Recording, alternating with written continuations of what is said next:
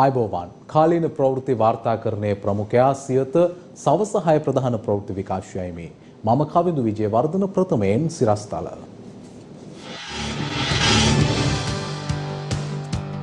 අද රාත්‍රී එකොළහේ සිට විසිපස් වනදා අලුයම හතර දක්වා බල පැවැත්වෙන පරිදි මුළු දිවයිනටම සංචරණ සීමා. සංචරණ සීමා පැනවීමේදී ජනතාවට සහ ආර්ථිකයට බලපෑමක් නොවීමට ජනපතිගෙන් තීරණ රැසක්. තත්ත්වය අවදානම් රටම දින දාහතරකට දැඩි සංචරණ සීමා පනවන්න ශ්‍රී ලංකා වෛද්‍ය සංගමය රජයෙන් ඉල්ලයි. මෙරට වැඩිම දෛනික කොවිඩ් මරණ ඊයේ දිනයෙන් අකණ්ඩව දෙවන දිනටත් තුන්දහස්ස ඉක්ම වූ ආසාධිතයින් ඊයේ දිනවාර්තාවෙයි. කළුතර කොවිඩ් වාට්ටුවක තදබදයක් ප්‍රතිකාර ලබමින් සිටි කොවිඩ් රෝගීන් පහක් ගෙදරයයි. රටේ ඉදිරි ආර්ථික සැලස්ම සම්බන්ධයෙන් අගමැතිගෙන් විශේෂ සාකච්ඡාවක්. ඇත්ත කතා කරන සෞඛ්‍ය නිලධහරින් වර්ධනය කරන්න එපා විපක්ෂනායකගින් ඉල්ලීමක්. ආණ්ඩු විරෝධී මත පාලනයට රජය කොරුණාව අවියක් කරගත්තා ජවිපෙන් චෝදනා. ප්‍රථමයෙන් දේශීය පුවත්. අද රාත්‍රයේ කොළහේ සිට එළඹෙන විසිපස් වනදා අලුයම හතර දක්වා මුළු දිවයිනටම ක්‍රියාත්මක වන පරිදි සංචරණ සීමා පනවා තිබෙනවා. මේ අතර යළිත් එළඹෙන විසිපස් වනදා රාත්‍රයේ කොළහේ සිට එළඹෙන විසියට වනදා තෙක් දිවයිනටම සංචරණ සීමා ක්‍රියාත්මකයි. අද රාත්‍රයේ එකොළහේ සිට බල පැවැත්වෙන පරිදි මුළු දෙවයිනටම සංචරණ සීමා පැනවීමට නියමිතයි. අද දිනේ මෙලෙස පැනවෙන සංචරණ සීමා ඉවත් කෙරෙන්නේ විසි පස්වන අඟහරුවාදා දින අලුයම හතරටයි. ගිය සතිය වගේම මෙවරත් සංචරණ සීමා ක්‍රියාත්මක වන කාල පරිච්ඡේදය තුළ ඖෂධ වෙළඳ සැල් නැත්නම් ෆාමසි හැරෙන්නට වෙනත් වෙළඳ සැල් විවෘතව තැබීමට හැකියාවක් නැහැ. ඒවා වසා තැබිය යුතුයි. පොදු ප්‍රවාහන සේවා ක්‍රියාත්මක වන්නේ නැහැ. අද රාත්‍රී සිට සංචරණ සීමා බල පැවැත්වෙන කාල පරිච්ඡේදය තුළ තමුගේ නිවස තුළම හැම කෙනෙක්ම රැඳී සිටිය යුතුයි. යම් කෙනෙකුට මේ කාල පරිච්ඡේදය තුළ රෝහලක් වෙත යාමට අවශ්‍ය නම් හදිසි ප්‍රතිකාරයක් සඳහා ඔවුන්ට රෝහල වෙත ගමන් කිරීමට හැකියාවක් තිබෙනවා. එම කාල පරිච්ඡේදය තුළ පොලිස් යතුරුපැදි සංචාර, ජංගම සංචාර, මාර්ග බාධක, පාපැදි සංචාර සහ පාමුර සංචාර ක්‍රියාත්මක වෙනවා. මෙම නිරෝධායන නියෝගයට පටහැනිව කටයුතු කළහොත් අනිවාර්යෙන්ම ඔබව අත්අඩංගුවට ගැනීමටත් නිරෝධායන රීතීන් යටතේ නඩු පැවරීමටත් සිදු වෙනවා. ඒ නිසා කරුණාකර නිවසේම රැඳී සිටින්න. මෙම කාල පරිච්ඡේදය තුලදී රෝගය වළක්වා ගැනීමට ගත හැකි උපරිම පියවර ගැනීමට දායක වන්න. සංචරණ සීමා කිසිසේත් උල්ලංඝනය කරන්නට එපා. එමෙන්ම පසුගිය පැය 24 කාල පරිච්ඡේදය තුල නිරෝධායන රීතීන් උල්ලංඝනය කළ පුද්ගලයන් 414 දෙනෙක් අත්අඩංගුවට ගෙන තිබෙනවා. මේ දක්වා අත්අඩංගුවට ගෙන ඇති මුළු සංඛ්‍යාව 11320ක් පමණ වෙනවා. මේ වන විටත් මේ 10500කට ආසන්න පිරිසකට නඩු පවරා තිබෙනවා. ඒ අනුව දින හතරකට ආසන්න කාලයක් පැනවෙන මෙම සංචරණ සීමා හේතුවෙන් මහජනතාවට සිය අත්‍යවශ්‍ය අවශ්‍යතාව වෙනුවෙන් අද දිනේ නිවසින් පිටතට යාමට අවස්ථාව හිමිවන්නේ සිය ජාතික හැඳුරුම්පතේ අවසන් අංකය ඔත්තේ ඉලක්කමක් සඳහන් අයවලුන්ට පමණයි. මේ අතර අද දිනේ දිවයිනේ විවිධ ප්‍රදේශවල විවිධ අවශ්‍යතා සඳහා නිවසින් පැහැර වූ ජනතාවගේ දිගු පොලිම් දක්නට ලැබුණා.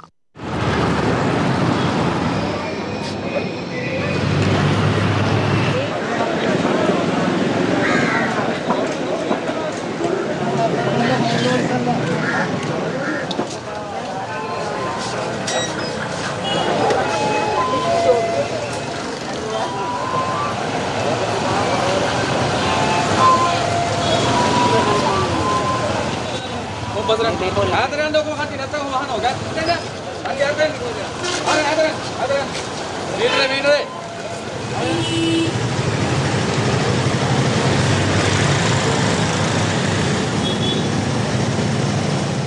එක බඩු දාන්න එපා කියලා තියෙනවානේ. මේක දන්නේ දන්නේ නැතුව තමයි යා ඒක අදහස් දවස් 10ක් නිවාඩුවක් කියනවානේ දැන් දවස් 10කට ගෙදර කන්නා සිටින්නේ ඊට මොනවද කරගන්න දෙයක් නැති තමයි යාවේ. ළමයි හතර දෙනෙක් ඉන්න වයිස් ඉන්න පේමන්ට් එක බඩු දාන්න එපා කියලා තියෙනවානේ. ඒ දවස් 10ක් විතර වහලා තියෙනවා මාත්‍රෝ අපි මොනවද කරන්නේ? ඒකෙන් නම් බෙලා තමයි කීයක් කර කියලා අපි ළමයි ළඟට ඉන්නවා. කරවා ගන්න මේකේ තමයි. පේමන්ට් දාන්න වගේ පේමන්ට් දාන්න එක දන්නේ නැහැ අයිඩෙන්ටි එක දන්නවා දැන් දවස් 10ක් වගේ වාලානේ. ඒක තමයි අපි මේ ඒක තමයි. ගන්න පේමන්ට් දාන්න එපා කියලා.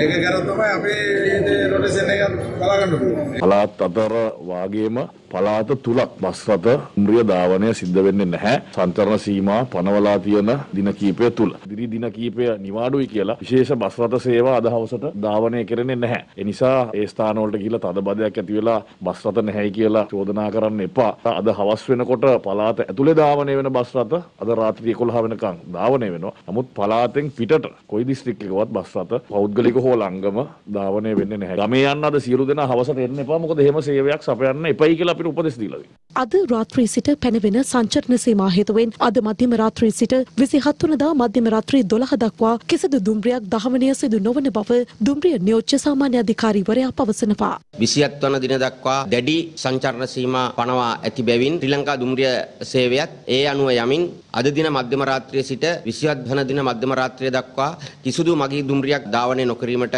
කටයුතු කරලා තියෙනවා. ඒ අනුව පිටපළාත්වල තිරන පැමිණෙන කිසිදු දුම්රියක් ධාවනය කෙරෙන්නේ නැහැ. එහෙත් 28 වෙනිදා පිටපළාත්වල සිට පැමිණෙන එනම් මහනුවර රඹුක්කන මහව හලාවත සහ බෙලියත්ත සිට ධාවනය වන සියලු දුම්රියන් ඇතුළුව ධාවනය කිරීමට කටයුතු කරනවා. එළඹෙන විසි පස් වනදා රාත්‍රී කොළහට යළිත් මුළු දිවයිනටම සංචරණ සීමා පැනවෙන අතර එළඹෙන විසි අට වනදා අලුයම හතරතෙක් අදාළ සංචරණ සීමා බල පැවැත්වෙනවා. එළඹෙන විසි අට වනදා අලුයම හතරට අදාළ සංචරණ සීමා ඉවත් කෙරුණද තිස් එක් වන සඳුදා දක්වා අත්‍යවශ්‍ය අවශ්‍යතා සඳහා නිවසින් බැහැරට යාමට අවස්ථාව හිමිවන්නේ ජාතික හැඳුනුම් පතේ අවසන් අංකයට අනුපයි. මෙ අතර විසි අට වනදා සිට තිස් එක් වනදා දක්වා සෑම දිනකම රාත්‍රී එකොළහෙ සිට පසුදා උදැසන හතරතෙක් සංචරණ සීමා පැනවෙනවා. කොවිඩ් ව්‍යාප්තිය පාලනය කිරීම සඳහා අද රාත්‍රියේ සිට සංචරණ සීමා පැනවීමේදී ජනතාවට සහ ආර්ථිකයට බලපෑමක් ඇති නොවීමට ජනාධිපති ගෝඨාභය රාජපක්ෂ මහතා තීරණ රැසකට එළඹ තිබෙනවා.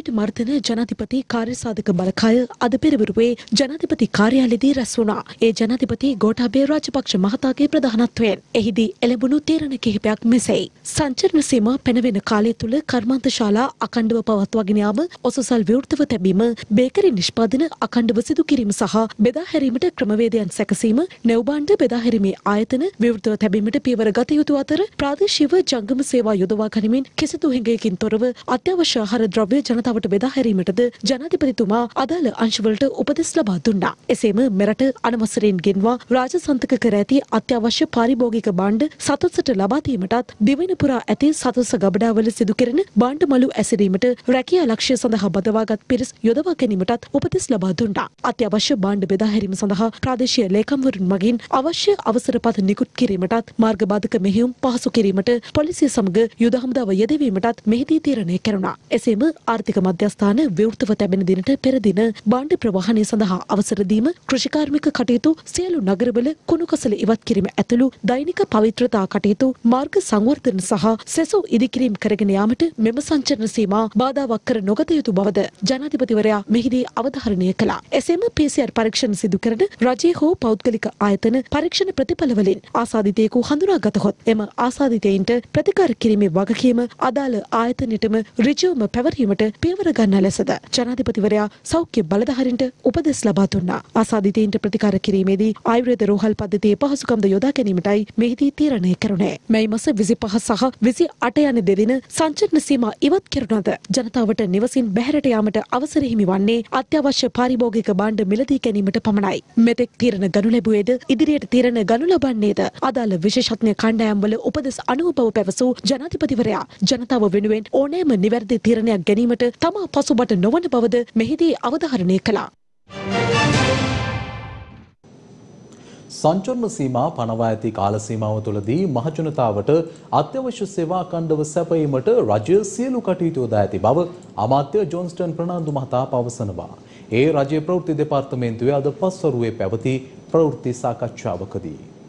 රජයක් හැටියට අතිකරු ජනාධිපතිතුමා අද කරපු විශේෂ සාකච්ඡාවකදී තීන්දුව කරලා තියෙනවා රටේ ජනතාවගේ අත්‍යවශ්‍ය සේවාවන් අකණ්ඩව පවත්වාගෙන යන්න. ඒක ආර්ථික මධ්‍යස්ථාන ටික වෙසක් උත්සවය කියන්නේ පෝය දවස් දෙක හැර අනිත් හැම දවසකම ආර්ථික මධ්‍යස්ථාන ටික විවෘතව තබන්නත් ඒ වගේම දීවර නිෂ්පාදන ටික මත්ස්‍ය තොග ටික මිලදී ගන්න වැඩපිළිවෙල දීවර අමාත්‍යංශය හරහා අකණ්ඩව ක්‍රියාත්මක කරනවා පෝය දවස් දෙක හැර. මේ භාණ්ඩ බෙදාහරණ වැඩපිළිවෙල ක්‍රියාත්මක කරන්න ගමකට එක වෙනද ව්‍යාපාරයක් විවුත්ත තබනවා වගේම ජංගම සේවය ක්‍රියාත්මක කරන්නත් අපි තීන්දුව කරලා තියෙනවා. ඒ නිසා රටේ සාමාන්‍ය ජනතාවගේ ජනජීවිතවලට හානියක් නොවන පරිදි තමයි මේ සංචලන සීමාවල අපි ක්‍රියාත්මක කරන්නේ. නිසා අපි ජනතාවට කියනවා කිසිම දෙයකට කලබල වෙන්න එපා කියලා ඉවරලා ආණ්ඩුවක් හැටියට අවශ්‍ය කරන තොග සහ ඒවා බෙදාහරන වැඩපිළිවෙල Tamanට අවශ්‍ය කරන බෙහෙත් ගන්න සියලුම ටික ඒ නගරවල විවුත්ව තබන්න අපි නියෝග කරලා තියෙනවා. ඒක ක්‍රියාත්මක කරනවා. ඒ නිසා කිසිම අඩුපාඩුවක් වෙන්න රජයක් හැටියට අපිට දෙන්නේ නැහැ. ඒ වගේම බේකරි හිමියන්ගෙන් අපි ඉල්ලීමක් කරලා තියෙනවා ඒවා උගේ නිෂ්පාදන කටයුතු කරන්න කියලා. ඒ වගේම ඒවා ගම්මානවල බෙදාහරන වැඩපිළිවෙල ජංගම සේවය හරහා ක්‍රියාත්මක කරන්නත් අපි ඔවුන්ගෙන් ඉල්ලීමක් කරලා තියෙනවා. මේ ප්‍රශ්නයට ඉතාමත්ම බුද්ධිමත්ම රජයක් හැටියට අපි කටයුතු කරනවා. කිසිම කඩාවැටීමක් වෙන්න ඉඩ දෙන්නේ නැහැ රජයක් හැටියට. සෞඛ්‍ය ශ්‍රේෂ්ඨය අඛණ්ඩව කරගෙන යන්න. ඇඳවල් වල අඩුපාඩුවක් නොවෙන්න ඒ අවශ්‍ය කරන සියලුම දේවල් අපි වැඩපිළිවෙල සකස් කරලා තියෙනවා. ඒ නිසා අපි ජනතාවට තියෙනවා කිසිම කලබලයක් වෙන්න එපා. වගකිය යුතු ජනාධිපතිවරයෙක් හැටියට, වගකිය යුතු ආණ්ඩුවක් හැටියට අපි නිවැරදිව මේ ගත යුතු සියලුම ක්‍රියාමාර්ග මොන තරම් ප්‍රචාර ඇරියක් මේ තීන්දුව තීරණ ක්‍රියාත්මක කරන්න වගකිය යුතු රජයක් හැටියට අපි ඊටාත්ම සත්භාවයෙන් ජනතාවගේ ජීවිත ආරක්ෂා කරමින් අපි කටයුතු කරනවා කියන එක පැහැදිලි තමුන්නාසට ප්‍රකාශ කරනවා. කවුරු මොන ප්‍රචාර ගෙනියන්න හැදුවත් තමන්ගේ දේශපාලන න්‍යායවල් ක්‍රියාත්මක කරන්න හැදුවත් මේ කොවිඩ් එක අස්සේ අපි කියන රජයක් හැටියට ජනතාවට අපි ඔක්කොම එකතු වෙලා මේකට මුහුණ දීලා ජයග්‍රහණී රටක් හැටියට අපි මේකෙන් එළියට එමු කියන එක පණිවිඩය තමයි මම මේ රටේ විශේෂයෙන්ම දෙන්නේ. රටේ ජනතාවට අවශ්‍ය කරන අත්‍යවශ්‍ය පරිභෝජන භාණ්ඩ සියල්ල ඉංගියකින් තොරව අකණ්ඩව සැපීමට ගත හැකි සෑම ක්‍රියාමාර්ගයක්ම රජය අරන් තිබෙනවා. පිටකොටුව තොග වෙළඳ පොලෙන් භාණ්ඩ රැගෙන යන සුපුරුදු සැපියුම් කරුවන්ට කිසිදු හිඟියකින් තොරව ඒ භාණ්ඩ රැගෙන යන්න පුළුවන් වෙන ආකාරයට ගබඩා සංකීර්ණ විවෘතව තිබෙනවා. ගම් මට්ටමින් බිම් මට්ටමින් භාණ්ඩ බෙදාහැරීමේ ක්‍රියාවලිය සංවිධානය කළ යුත්තේ ඒ පළාතේ ප්‍රාදේශීය ලේකම් තුමා හෝ තුමිය. ඒ සඳහා විශේෂ තෝරාගත්ත ජංගම වෙළඳුම් හට ලිඛිත අනුමැතියක් ලබා දෙනවා. Tamanට අවශ්‍ය ද්‍රව්‍ය තොග රැගෙන එන්නත්, රැගෙන ද්‍රව්‍ය නිවෙස් වලට ගෙයින් ගෙට ගිහිල්ලා බෙදා හරින්නත් ප්‍රාදේශීය ලේකම්වරයා විසින් අවශ්‍ය බලය ලබා දෙනවා. ඒ බලපත්‍රය බලපත්‍රයක් ලෙස නෙමේ ඒ අනුමැතිය භාණ්ඩ රැගෙන යම් යනාදීදී පොලිසිය විසින් පිළිගන්නවා මේ අත්‍යවශ්‍ය සේවාවක් සැපීම සඳහා ඉදිරිපත් වෙන බව. විශේෂිත ආර්ථික මධ්‍යස්ථාන මේ ඉදිරි දින දෙක තුලදී වසා තැබෙනවා. 24 වෙනිදාට දිවයිනේ සියලුම ආර්ථික මධ්‍යස්ථාන 24 25 කියන දිනවල විවෘතව තිබෙනවා. එතකොට එළවලු පළතුරු යන ආදී හැඟියකින් තොරව රට පුරා බෙදා හරින්නත් ගොවි නිෂ්පාදන ටික අලෙවි කරගන්නටත් පුළුවන්කම ඒ තුලින් ලැබෙයි කියලා අපි විශ්වාස කරනවා. කෘෂිකාර්මික නිෂ්පාදන ප්‍රවාහනයට ඒ තොග වෙළඳාමට ඒ සඳහා කිසිම බලපත්‍රයක් අවශ්‍ය වෙන්නේ නැහැ. යම් කිසි ආකාරයක දැනුම් දීමක් අවශ්‍ය වෙන්නේ මේ ඩිලිවරි කටයුතු සඳහා පමණයි. ආහාර ප්‍රවාහනයට, මත්ස්‍ය ප්‍රවාහනයට, එළවලු ප්‍රවාහනයට, වී හාල් ප්‍රවාහනයට බිත්තර ඒව කිසිම ආකාරයක බලපත්‍ර අවශ්‍ය වෙන්නේ නැහැ. යම් කිසි වාහනයක් කිස්ව ඇවිල්ලා ඒකෙන් එළවලු අරගෙන යන්නත් පුළුවන්. ඒ මගදී නැවතුනොත් ඒ පැහැදිලි කිරීම කරලා ඒ වගේම එළවලු හරි යම් භාණ්ඩයක් යම් ස්ථානයකට අරගෙන ඇවිල්ලා හිස් වාහනේ යන්නත් පුළුවන්. ඒ අවස්ථා දෙකේදීම ඒ ගැන සලකලා බලලා ඒ අයට යන්න දෙන්න කටයුතු කරනවා පොලිසිය. යම් ප්‍රදේශයක පොලිස් වසමක ප්‍රාදේශීය ලේකම් කොට්ටාශයක ඩිලිවරි සේවාවක් පවත්වාගෙන යනවා නම් අන්න එවැනි අවස්ථාවකදී දැනුම් දීමක් කරන්න ඕනේ. වෙන කිසිම බලපත්‍රයක් අවශ්‍ය වෙන්නේ නැහැ. අකණ්ඩව දෙවන දිනටත් තුන්දහස්ස ඉක්ම වූ දෛනික කොරෝනා ආසාදිතයින් සංඛ්‍යාවක් ඊයේ දින වාර්තා වුණා. ඒ ආසාදිතයින් තුන්දස් හාරසිය හතලිස් තුනක් ලෙසයි. මේ අතර මෙරට දෛනික වැඩිම කොවිඩ් මරණ සංඛ්‍යාව ඊයේ දිනයෙන් වාර්තා වී තිබෙනවා. දින මෙරටින් කොවිඩ් මරණ තිස් අටක් පිළිබඳ තොරතුරු වාර්තා වුණා. ඒ අනුව මෙරට සමස්ත කොවිඩ් මරණ ගණන එදහස් අසූ නවයක් දක්වා ඉහළ ගොස් තිබෙනවා. එය මෙරට දෛනික වැඩිම කොවිඩ් ආසාධිත මරණ සංඛ්‍යාව ලෙසයි සැලකෙන්නේ. ඊයේ දින තහවුරු වූ කොවිඩ් මරණ උඩුකින්ද ලුණුකල බලංගොඩ කටුනායක බාඳුරුගොඩ කොච්චිකඩේ මීගමුව තලාතුවය බණ්ඩාර කොස්වත්ත බොරැල්ල පාදිනිය තෝරයාය පොල්ගහවෙල ගල්ගමුව සේමලාපේ මතුගම එතනවත්ත නාවලපිටිය කුරුණෑකල යටියන්තොට බෙලිහුල්ලොය නෑබඩ කැකුණුගොල්ල නිකවැරටිය වරකපොල අම්පිටිය මාරස්සන රජවේල්ල උඩිස්පත්තුව සහ හබරදුව යන ප්‍රදේශවලින් වාර්තා වී තිබුණා. මියගිය පිරිසෙන් දහනව දෙනෙකු කාන්තාවන් වන අතර දහනව දෙනෙකු පිරිමි පුද්ගලින් වනවා. ඊයේ දින මෙරටින් COVID-19 ආසාදිතයින් තුන්දහස් හාරසිය හතලිස් තුන් දෙනෙකු හඳුනාගෙන තිබුණා. ඒ අතුරින් පුද්ගලින් තුන්දහස් හාරසිය හතලිස් එක් දෙනෙකුම වාර්තා වී තිබුණේ දේශීය වශයෙන්. ඊයේ දින හඳුනාගත් ආසාදිතයින් අතරින් වැඩිම පිරිසක් ගම්පහ දිස්ත්‍රික්කෙන් වාර්තා වී තිබුණා. ගම්පහින් ඊයේ දින ආසාදිතයින් අටසිය විසි දෙදෙනෙකු හඳුනාගෙනුණා. ඊට අමතරව කොළඹ දිස්ත්‍රික්කයෙන් ආසාදිතයින් හයසිය හැත්තා හතරක් සහ කළුතර දිස්ත්‍රික්කයෙන් ආසාදිතයින් දෙසිය අසූ හතක් වාර්තා වුණා. අනෙක් ආසාදිතයින් එදහස් හයසිය පනස් අට දෙනා දිවයිනේ සැසූ දිස්ත්‍රික්කවලින් වාර්තා වී තිබුණා. මේ අතර කළුතර දිස්ත්‍රික්ක මහරෝහලේ පිහිටුවා තිබෙන කොරුණා ප්‍රතිකාර වට්ටුවේ පවතින දැඩි තදබදය හේතුවෙන් එහි ප්‍රතිකාර ලබා ගන්නා රෝගීන් පස් දෙනෙකු රෝහල් බලධාරීන්ට නොදන්වා රෝහලින් පිටව ගොස් ඇති බව වාර්තා වුණා. අදාළ රෝගීන් මෙවන විට සේ නිවෙස් තුළ සිටින බවයි කළුතර දකුණු පොලිසිය අප කළ විමසීමකදී ප්‍රකාශ කළේ. මෙම පුද්ගලින් පිළිබඳව සෞඛ්‍යංශ දැනුවත් කර ඉදිරියේදී ක්‍රියාමාර්ග ගන්නා බවයි කළුතර දකුණු පොලිසිය වැඩිදුරටත් ප්‍රකාශ කළේ. කොත්මලේ නියගම්තොර මැද්දතැන්න ප්‍රදේශයේ පිහිටි පෞද්ගලික ඇඟලුම් කර්මාන්ත ශාලාවක තවත් සේවකයන් විසිහය දෙනෙකුට COVID-19 වෛරසය ආසාදනය වී ඇති බව කොත්මලේ සෞඛ්‍ය වෛද්‍ය නිලධාරී කාර්යාලය පවසනවා. එම ඇඟලුම් කර්මාන්ත ශාලාවේ සේවකයන් අසූ දෙදෙනෙකුට මීට ප්‍රථම COVID-19 වෛරසය ආසාදනය වී ඇති අතර එම ආසාදිතයින්ගේ ආශ්‍රිතයින් අනූ දෙනෙකු ස්වයන් නිරෝධහනයට යොමු කර ඉන් අනතුරුව මෙම PCR පරීක්ෂණ කටයුතු සිදු කර තිබුණා. මුල්ලේරියාව නැගෙනහිර කොළඹ මූලික රෝහලේ අලුතෙන් ඉදිකරන ලද දැඩි සත්කාර ඒකකය විවෘත කිරීම යුද හමුදාපති ජෙනරාල් ශවෙන්ද්‍ර සිල්වා මහතාගේ සහ අමාත්‍ය පවිත්‍ර වන්‍යාරච්චි මහත්මියගේ ප්‍රධානත්වයෙන් සිදු කෙරුණා.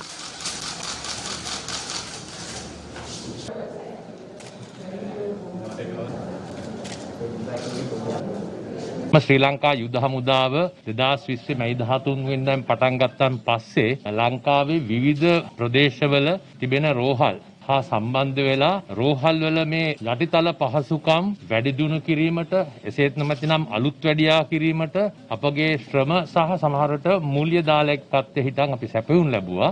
රටේ ආරක්ෂකයා වශයෙන් ක්‍රියා කරන ශ්‍රී ලංකා යුද හමුදාව සෞඛ්‍ය ශේෂ්ඨයත් එක්ක එකතු වෙලා අපිට පුළුවන් හැකි පමණින් මෙවැනි දායකත්වයක් ලබා දීමෙන් රෝගියෙක් රැකබලාගෙන ඔහුටගේ ජීවිතය රැකබලා ගැනීමට අවස්ථාවක් සැලසීමට හැකියාව ඒදී අපිට යම් කිසි ආකාරයක දායකත්වයක් සැපීමට හැකියාව පිළිබඳව අපි සන්තෝෂ වෙනවා.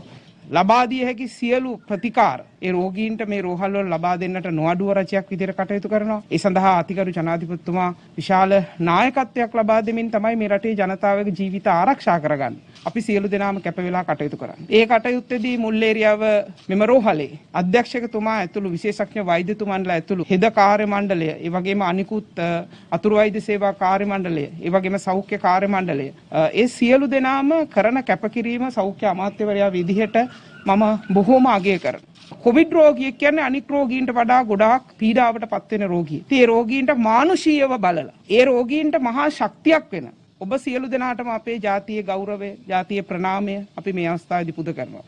අනුරාධපුර ශික්ෂණ රෝහල යටතේ ක්‍රියාත්මක වන මෙත්සිරි සෙවන කොවිඩ් රෝහලේ තවත් ඇදන් හතලිස් හයකින් යුතු දැඩි සත්කාර ඒකකයක් විවෘත කිරීම අද දින සිදු වුණා. ඒ අමාත්‍ය එස්.එම්. චන්ද්‍රසේන මහතාගේ ප්‍රධානත්වයෙන්.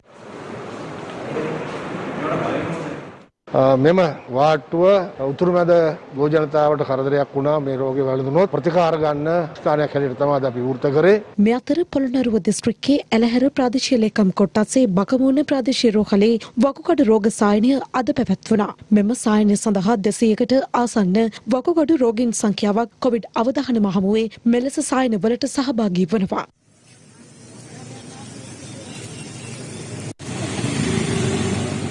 මෙම පුද්ගලින් අදාළ බලධහරින්ගෙන් ඉල්ලා සිටින්නේ තමන්ට මාසිකව අවශ්‍ය ඖෂධ නිවසටම ලබාතිමේ ක්‍රමවේදයක් සකසා දෙන ලෙසයි. මෙතන කවුරු හරි ලෙඩක් තිබුණොත් එහෙම ඉතින් ඒ ලෙඩේ අපි හැමෝටම මේ පැතිරෙනවා. ඉතින් උදේ ඉඳලා මෙතන ඉතින් රත් අඩු වෙවි ඉන්නවා. ඉතින් අපිට සහනයක් තමයි අපි බලාපොරොත්තු වෙන්නේ. ඉතින් අපිට කොහොම හරි අපේ නිවසට බෙහෙත් ටික ලබා ගන්නට ක්‍රමයක් යොදලා දෙනවා නම් ගොඩාක් ස්තුතියි කියලා මම හිතනවා. උදේ ආවේ බෙහෙත් ගන්න. දැන් 12 විතර වුණා. බෙහෙත් නෑ මොකුත් නෑ දෙන්නෙත් නෑ මේක. මනට බෙහෙත් ගන්න ක්‍රමයක් හදලා දෙන්න තමයි කියන්නේ. බෙහෙත් ටික දෙටා නම් කොච්චර හොඳද ඉතින් නේද? දිස්ත්‍රික්ක තුනක තවත් ග්‍රාම නිලධාරී වසම් නවයක් අද උදැසන හයේ සිට හුදකලා කර තිබුණා. ඒ අනුව යාපනයේ දිස්ත්‍රික්කයේ පලාලි පොලිස් බල ප්‍රදේශයේ පලාලි උතුර ග්‍රාම නිලධාරී වසම මෙන්ම මඩකලපුව දිස්ත්‍රික්කයේ කල්කුඩා පොලිස් බල ප්‍රදේශයේ කල්මඩු ග්‍රාම නිලධාරී වසම හුදකලා කර තිබුණා. මීට අමතරව මොනරාගල දිස්ත්‍රික්කයේ සෙවනගල පොලිස් බල ප්‍රදේශයේ කිරිවැව, සෙවනකල, බහිරාව, හබරත්තවෙල, හබරුගල, මහගම සහ ඉන්දිකොළ පැලැස්ස අද උදැසන හයේ සිට හුදකලා කෙරුණා. එසේම කොළඹ දිස්ත්‍රික්කයේ පිළියන්දල පොලිස් බල ප්‍රදේශයේ ග්‍රාම නිලධාරී වසම් 16ක්, කොළඹ දිස්ත්‍රික්කයේ මහරගම පොලිස් බල ප්‍රදේශයේ ඇරව්වල බටහිර ග්‍රාම නිලධාරී වසම ඇතුළු තවත් ප්‍රදේශ කිහිපයක් හුදකලා භාවයෙන් ඉවත් කිරීමට COVID-19 පැතිරීම වැළැක්වීමේ ජාතික ක්‍රියාන්විත මධ්‍යස්ථානය තීරණය කර තිබෙනවා. පවතින තත්ත්වය පාලනය කිරීම සඳහා රටමාවරණය වන පරිදි දින 14ක දැඩි සංචරණ සීමා පනවන ලෙසට ශ්‍රී ලංකා වෛද්‍ය සංගමය රජයෙන් ඉල්ලීමක් කර සිටිනවා. එය අද කොළඹ පැවති මාධ්‍ය හමුවකට එක්වෙමින්. වෛද්‍ය සංගම් හතරම. රජයේ වෛද්‍යවරුන්ගේ සංගමය ශ්‍රී ලංකා වෛද්‍යවරුන්ගේ සංගමය විශේෂඥ වෛද්‍යවරුන්ගේ සංගමය සහ වෛද්‍ය අන්තර් විද්‍යාතන කමිටුව කියන මේ හතරම එකමුතුව එකාමෙන් ඉල්ලා සිටිනවා.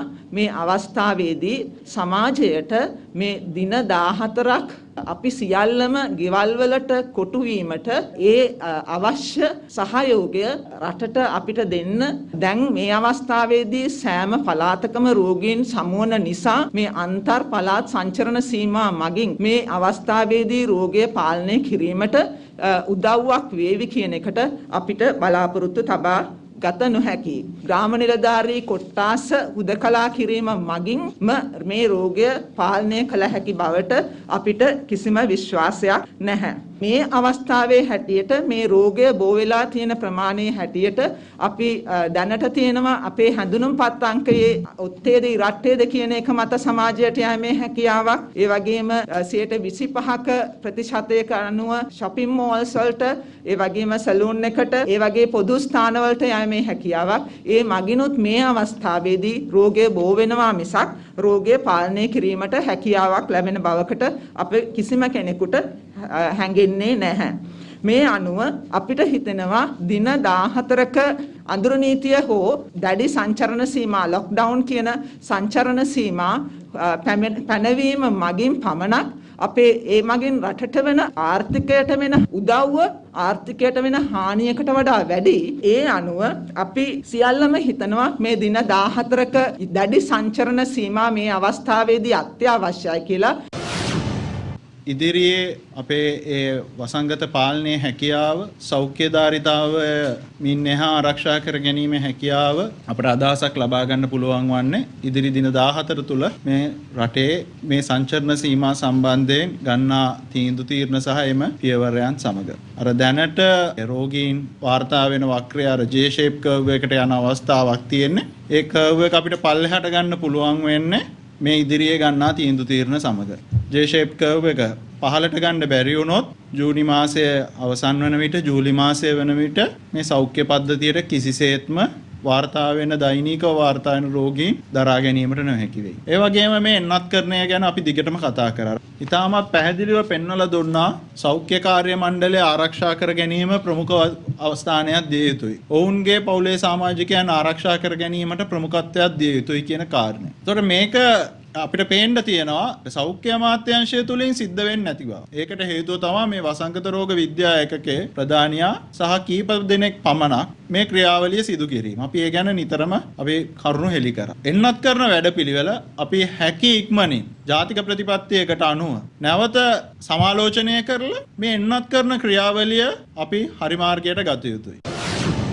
යම් තානවල හඳුනාගත් රෝගීන් රෝහලක් හෝ ප්‍රතිකාර මධ්‍යස්ථානය කරා ගෙන යන තෙක් නිවසේ තබා ගැනීමට සිද්ධ වෙලා තියෙනවා. ඒ තත්වයේදී අපි හොට්ලයින් කීපයක් දැනටමත් හඳුන්වලා දීලා තියෙනවා යම් පුද්ගලයෙකුට රෝග ලක්ෂණයක් අපහසුයක් තිබේ නම් ඒ හොට්ලයින් එකට කතා කරන්න Tamanගේ ප්‍රදේශයේ මහජන සෞඛ්‍ය පරීක්ෂකවරයා අමතීමට නොහැකි නම් බරපතල ලෙස රෝගී බව පේනවා නම් අපිට තවදුරටත් නිවසේ සිටීම මං හිතන්නේ මේ අවස්ථාවේ සුදුසු දෙයක් නෙවෙයි. ඒ නිසා වෛද්‍ය උපදෙස් කරා යාම වැදගත් වෙනවා. මේ తත්වය අවම කර ගැනීම සඳහා මේ සංචරණ සීමා කාල සීමාව තුළ තමන් මේ මොහොතේ පදිංචිව සිටින ස්ථානයේම රැඳී සිටීමට හැකි උත්සාහ සියල්ල ගන්න කියලා අපි ඉල්ලා සිටිනවා.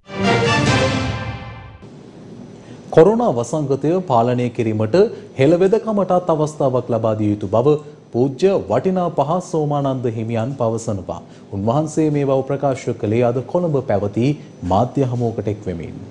අද දිනෙන් දින මේ රට තුළ කොයිඩ් දහනමේ ව්‍යාප්තිය වැඩුවෙන තත්ත්වයක්කට මුණ පාලත් තිබෙනවා. අද දේශීය වෛද්‍ය අමාත්‍යන්සේ තියෙනවා ආයුර්වේද රෝහල් තියෙනවා ආයුර්වේද රෝහල් වල ඇඳන් තියෙනවා 5000 ගාණක් විතර වාට්ටු විශාල ප්‍රමාණයක් තියෙනවා. ඒතර මේ தත්ත්වය ඔස්සේ අපි කල්පනා කරන්නට ඕනේ හෙළ වෛද්‍යවරුත් මේ කටයුත්තට සම්බන්ධ කර නොගන්නේ මන්ද කියන එක පිළිබඳව අද අපේ රටේ විවිධ තත්ත්වයන් හමුවේ සමහර අය ජනප්‍රිය වෙන්න හෙළ මේ වෙද මහතුන් හැටියට කටයුතු කරපු අයත් පහුගිය කාලේ අපි දැක්කා. සෞඛ්‍ය බලධාරීන්ගේ නිගමනය අනුව තමයි මේ තත්ත්වය හමුවේදී අපේ පාරම්පරික වෛද්‍යවරුන්ට ඉදිරියට යන්න පුළුවන් කමක් නොමැතිලා තියෙන්නේ. මේ රටේ කිසිම කෙනෙක් හෙළ වෛද්‍යවරයෙක් පාරම්පරික වෛද්‍යවරයෙක් ආයුර්වේද වෛද්‍යවරයෙක් මේ කොරෝනා ආසාදිත වෙලා මිය ගිහිල්ලා නැහැ. ඒ අයගේ යම්කිසි හැකියාවක් තියෙනවා මේ හැකියාවට තැනක් දෙන්න ආණ්ඩුව කටයුතු කරන්න ඕනයි කියන එකයි අපි විශේෂයෙන් මතක් කරන්නේ. කොරෝනා කිව්වට බැලුවාම මහා හයේ හතරේ අඩි පහේ හයේ මිනිස්සු මොනින් මේ රෝගේ හැදලා වැටිනවා.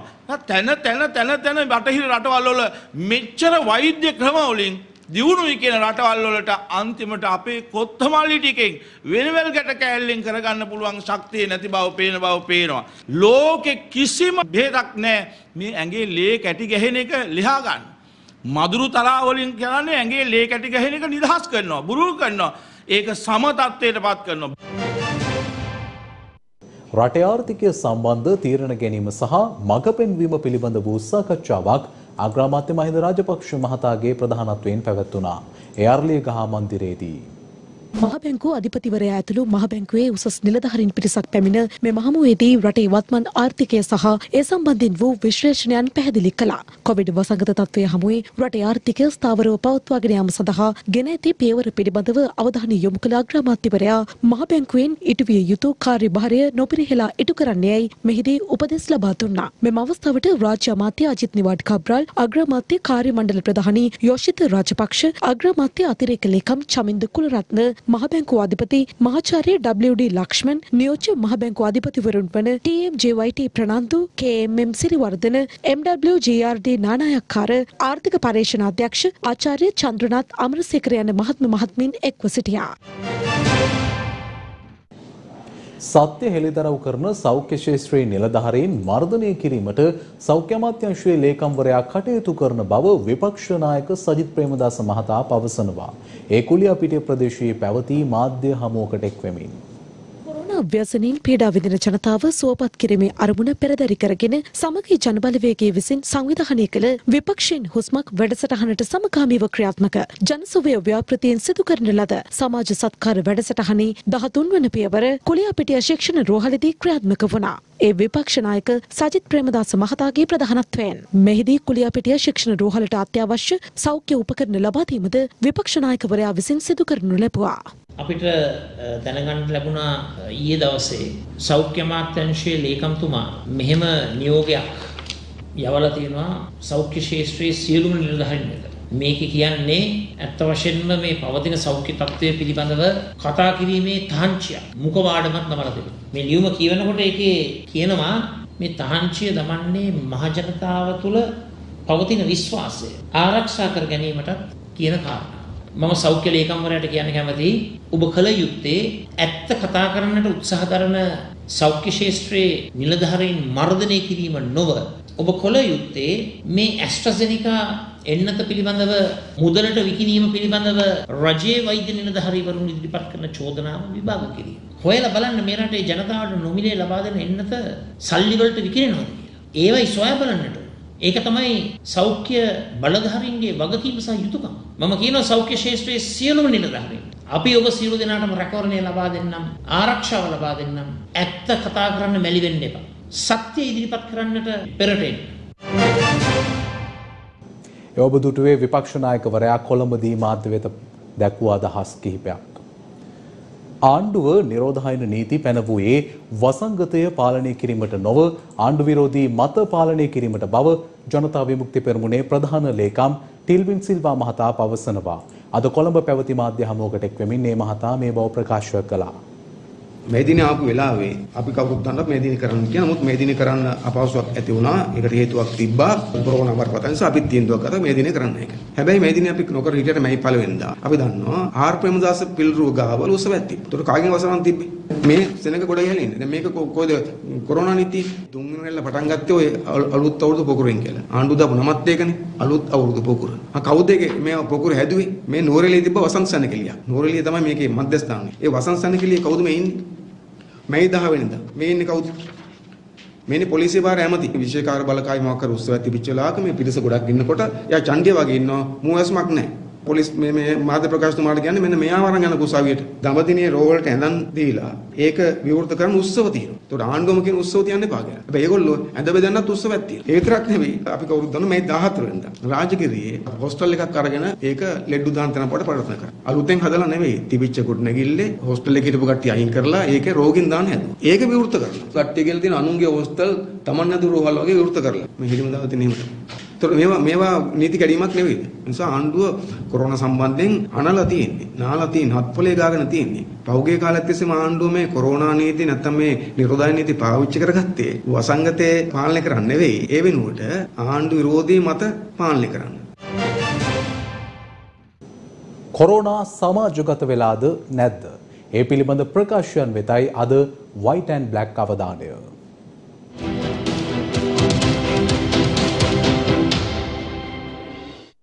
අපි අද වයිටන් බ්ලක් තුළින් අවධාරණය කරන්නට යන්නේ තවත් සැඟවිය යුතු දෙයක් අපිට තිබෙනවාද යන්න පිළිබඳවයි.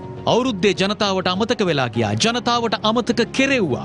කොවිඩ් කොතරම් බරපතලද කියන කාරණය. එහි ප්‍රතිඵල අද බුක්තිවිනිද්දී. මේ රෝගය තවමත් සමාජගත වී නැහැ. අපි හොඳ තැනක ඉන්නේ. මේ විදිහේ ප්‍රකාශයන් නිකුත් කිරීම තුළින් අපි ගමන් කරන්නට උත්සාහ කරන්නේ කොතැනටද. කුමක්ද එහි අරමුණ. අපිට සමාජගත වීමයි කියන වචනය පාවිච්චි කිරීමට තරමට සාධක නැහැ.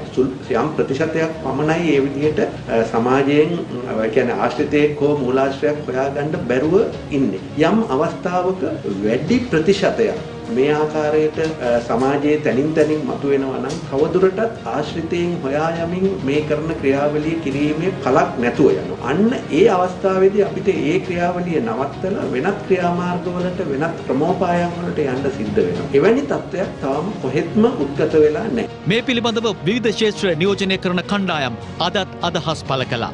මේ වනකොට කොරෝනා සමාජගත වෙලා තිබෙන්නේ. මම දැක්කා සෞඛ්‍ය අමාත්‍යාංශයේ නියෝජ්‍ය අධ්‍යක්ෂ වරෙක් කියනවා කොරෝනා සමාජගත වෙලා කියලා තාම අපිට කියන්න බෑ කියලා. අපි සෞඛ්‍ය අමාත්‍යාංශයෙන් සහ රජයෙන් අහන්න කැමති ඔබ කවදා හරි කොරෝනා සමාජගත වෙලා කියලා කියන්න හදන්නේ මේ රටේ සියලුම ජනතාව භූගත වුණාට පස්සේද කියලා.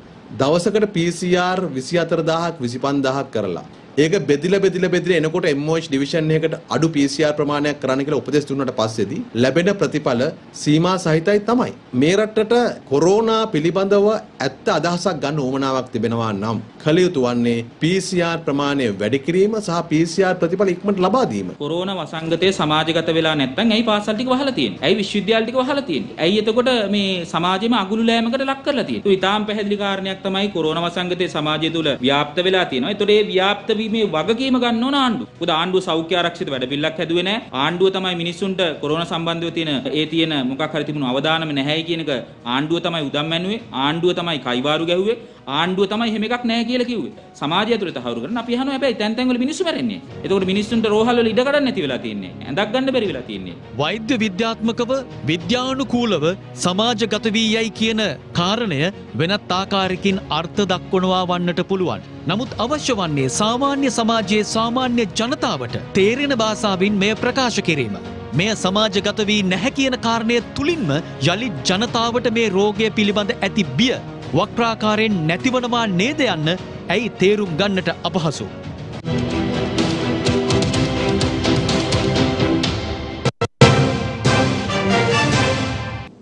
කොළඹ වරාය නගරය චීන කොලනියක් බවට විපක්ෂ නගන චෝදනා සියල්ල අසත්‍ය බව පාර්ලිමේන්තු මන්ත්‍රී එස්.බී. දිසානායක මහතා පවසනවා.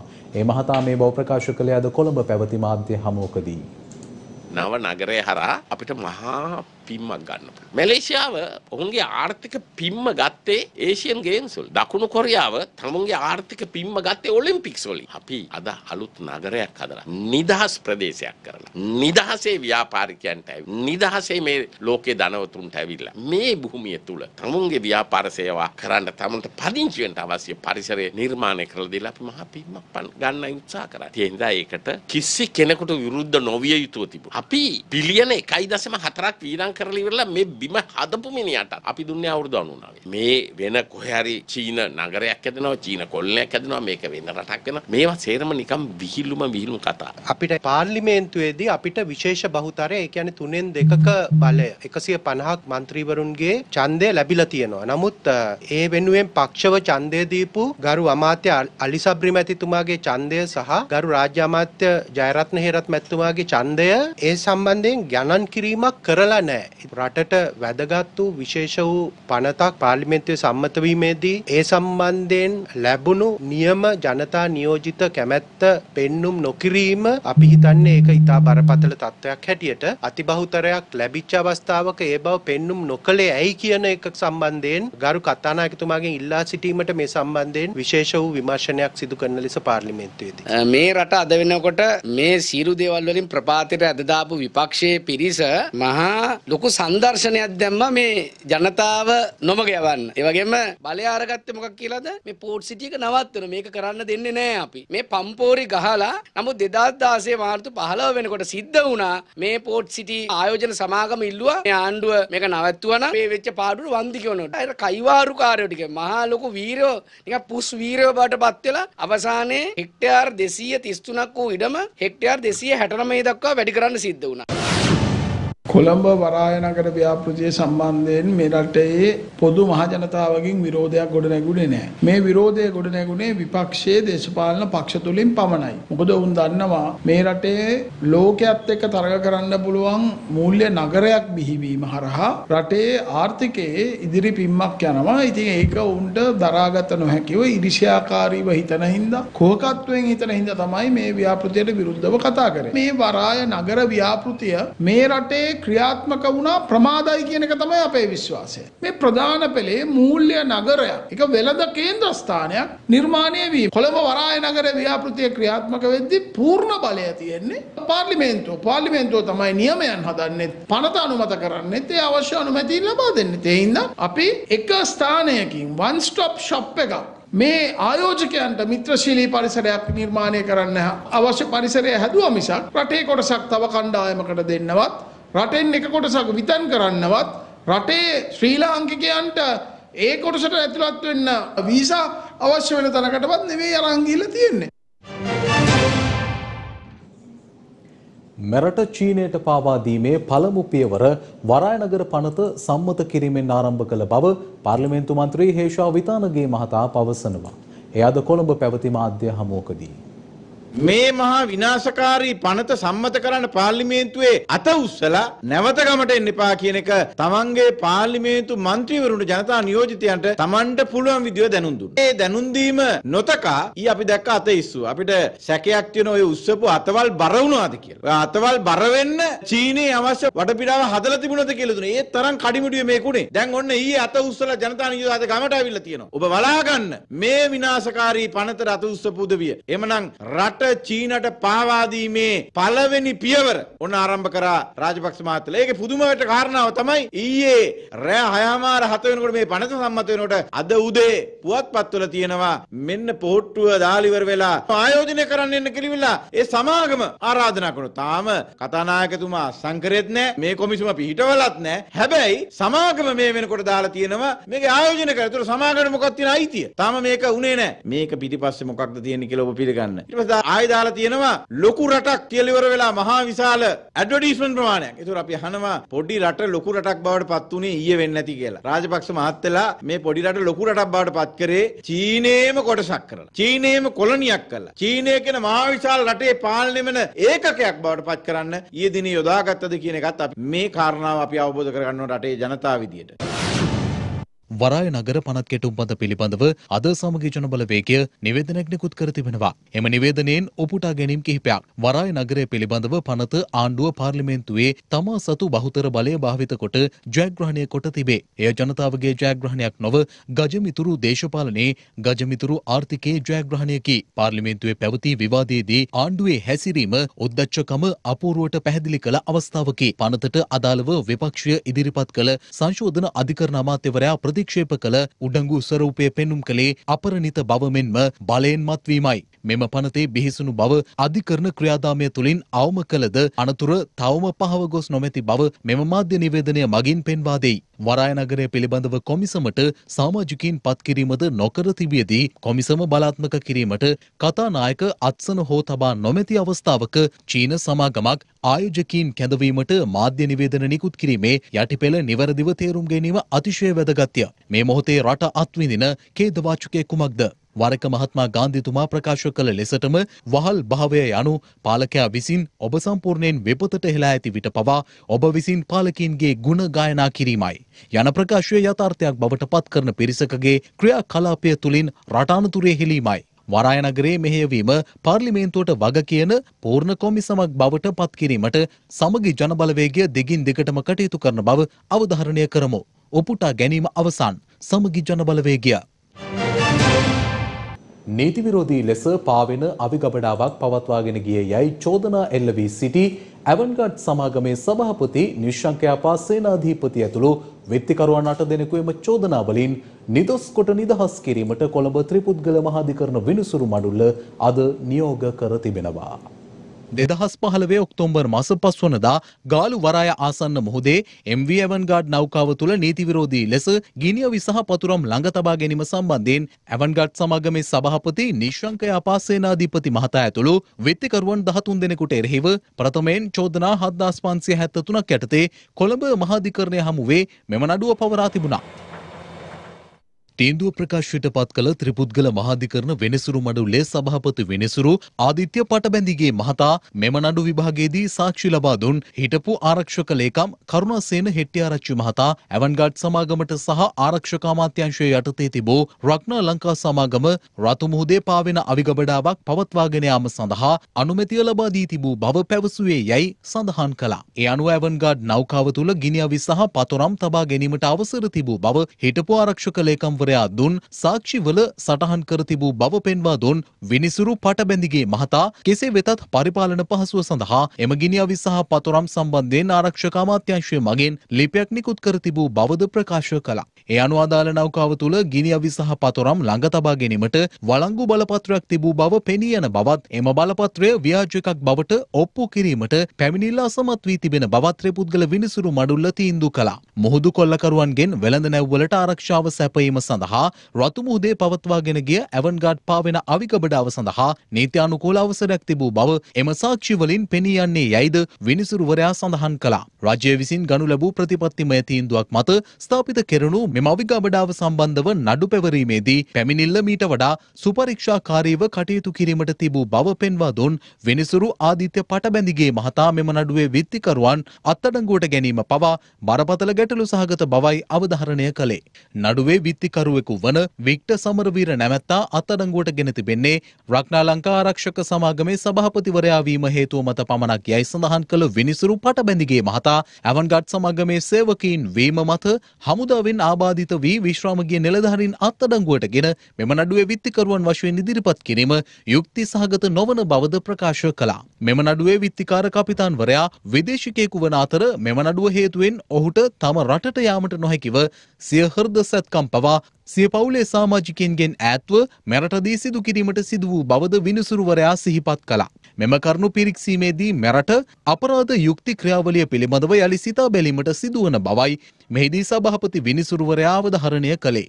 ඒ අනුව විත්තිකරුවන්ට එරෙහිව එල්ල කර තිබෙන චෝදනා සාධාරණ සැකයකින් තොරව ඔප්පු කිරීමට පැමිණිල්ලා සමත් වී ඇති හේයින් වෙත්තිකරුවන් සියලු දෙනා සියලු චෝදනාවලින් නිදොස් කොට නිදහස් කරන බවද ත්‍රිපුද්ගල විනිසුරු මඩුල්ල ඒකමතිකව තීරණය කළා. ඒ අනුව විත්තිකරුවන් විසින් අධිකරණයේ තැන්පත් කර තිබෙන ඔවුන්ගේ ඇප මුදල් යලි ඉල්ලා සිටි විටක මුදා හරින ලෙසත් ඔවුන්ගේ විදේශ ගමන් තහනම ඉවත් කරන ලෙස ආගමන විගමන පාලකවරයාට නියෝග කරන බවත් ත්‍රිපුද්ගල විනිසුරු මඩුල්ල මෙහිදී සඳහන් කළා. සියත සවසහය ප්‍රධාන ප්‍රවෘත්ති විකාශයමින් නිමාවට පත්වනවා යළිත් හමුවමු අපගේ රාත්‍රී ප්‍රවෘත්ති විකාශයෙන් ඔබට සුවදායි සන්ධ්‍යාවක්. දිනපතා අලුත් වීඩියෝ සහ ප්‍රවෘත්ති නැරඹීමට ඉහත බටන එක ක්ලික් කර සියත TV සබස්ක්‍රයිබ් කරන්න.